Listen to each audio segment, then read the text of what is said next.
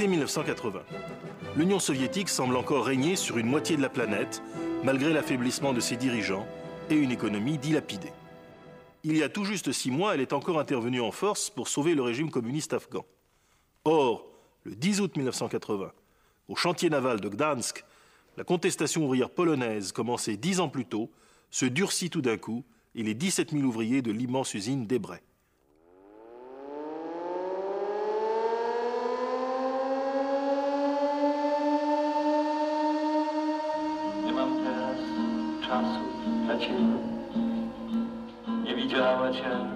Un syndicat indépendant, Solidarność, voit le jour et son leader, Lech Walesa, obtient du gouvernement, après un mois de grève, une brèche immense dans le système de la dictature communiste.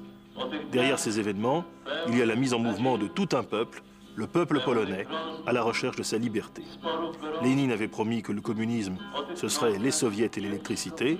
La Pologne de 1980, elle, s'enflamme pour un électricien sans les soviets, Lech Walesa.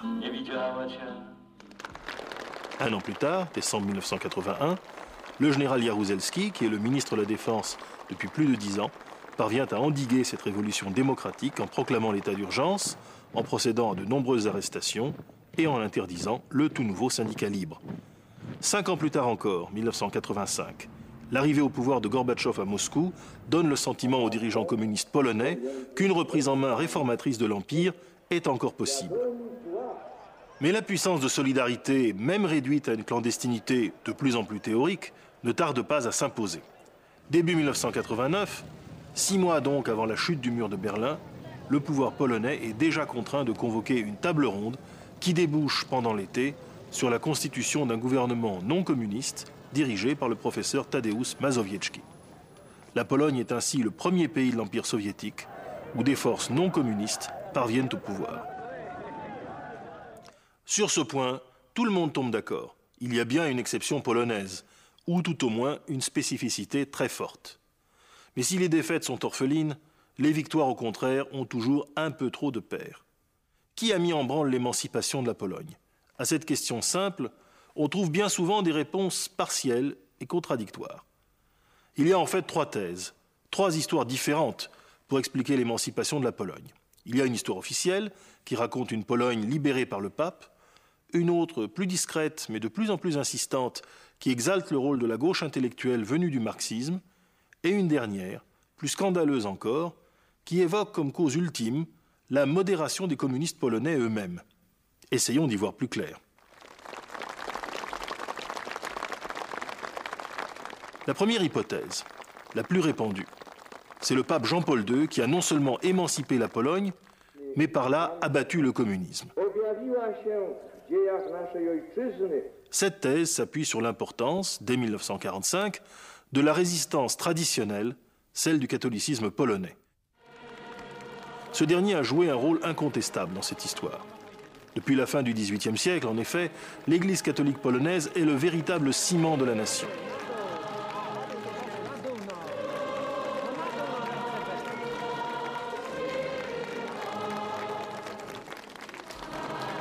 À partir de 1956, la déstalinisation s'emballe en Pologne.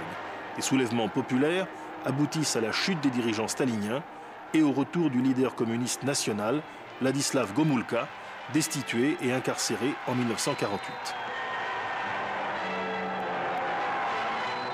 L'Église donne alors son appui à Gomulka et en contrepartie obtient de ce dernier le retour à une certaine autonomie de la société. À partir de cette date, l'Église polonaise aura ses journaux, ses clubs d'intellectuels, quelques députés au Parlement et même une petite université. À la suite de l'impulsion donnée par le pape Jean XXIII à toutes les églises du monde, c'est le jeune archevêque de Cracovie, Karol Wojtyla, le futur pape, qui va souvent seul face à sa hiérarchie pousser l'église polonaise à se moderniser. Et lorsque cette force du catholicisme polonais modernisé se traduira en 1978 par la désignation de Karol Wojtyla comme pape, la Pologne se relève de fierté.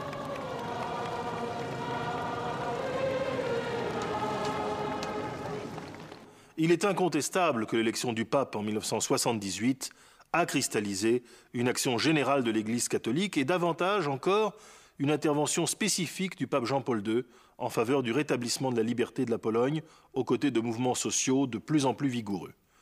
Mais cela aurait-il suffi sans l'existence d'un mouvement politique tout à fait indépendant de l'Église? D'où une seconde hypothèse, à l'origine de la révolution polonaise des années 80, par le rôle des intellectuels issus de la gauche marxiste.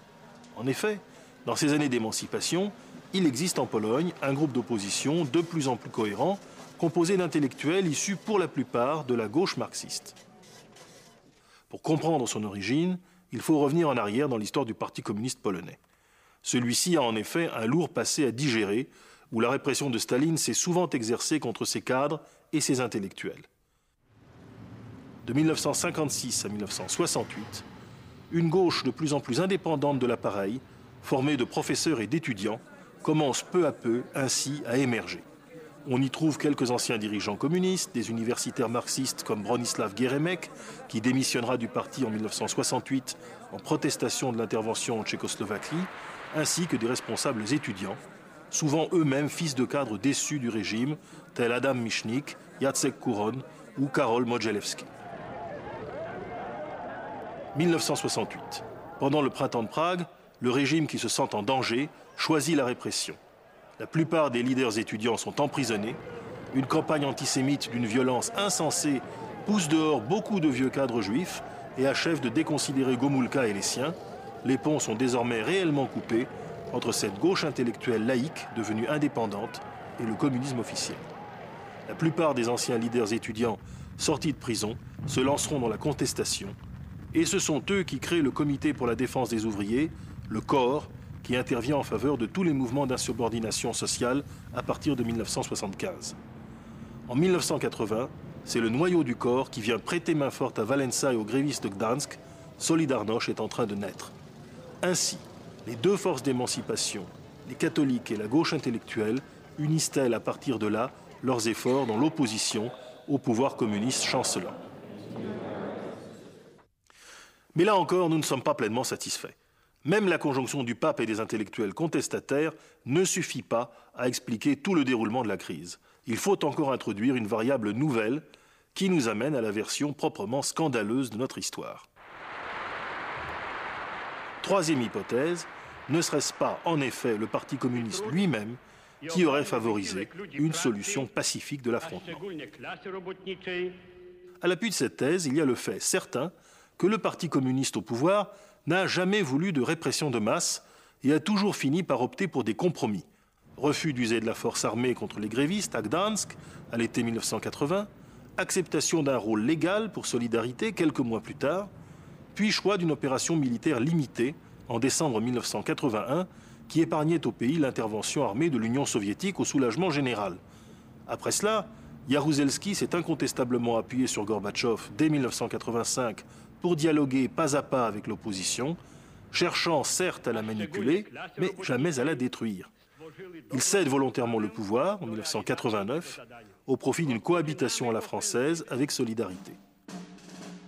Comment expliquer ce refus de la violence de la part des dirigeants communistes polonais? Par un passé particulier.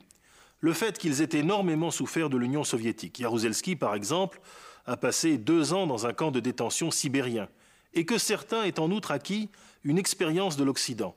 Édouard Guérec, son prédécesseur, a été ouvrier en France et en Belgique.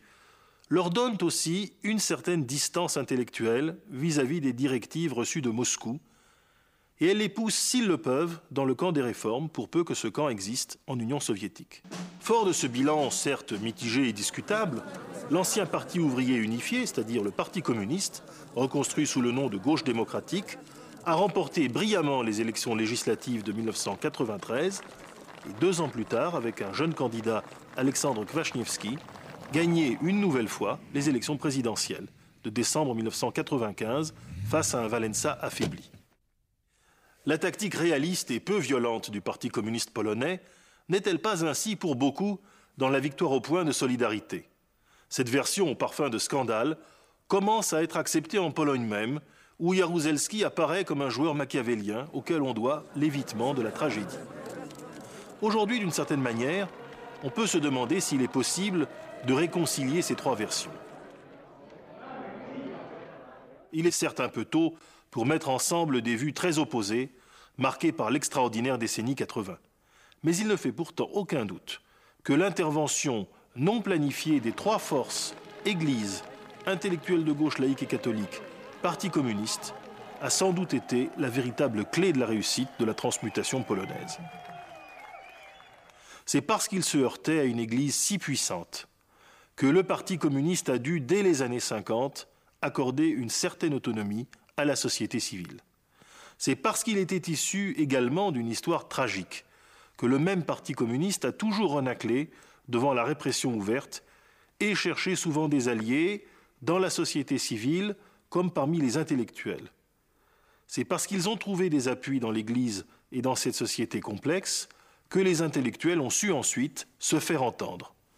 Et c'est parce que les esprits libres de l'Église et de la gauche cherchaient ensemble à s'émanciper que s'est allumée, à partir de l'été 1980, une réaction en chaîne sans précédent.